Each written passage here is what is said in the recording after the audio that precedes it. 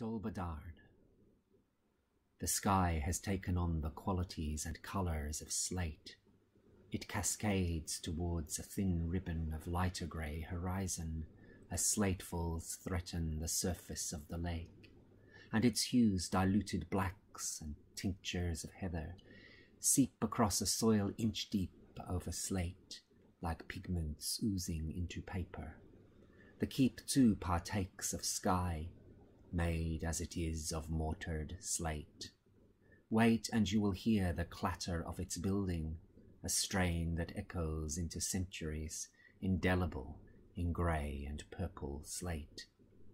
Come, climb stairs, souls grating on hollowed slate, up toward the floor that isn't.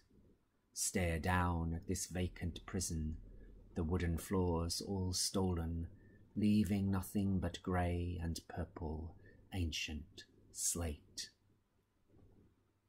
The taint of it is grey as Wales, whose colour words are wetly made from glas that holds the painter's brush. Glas, a mixed ambivalence of weathered colours.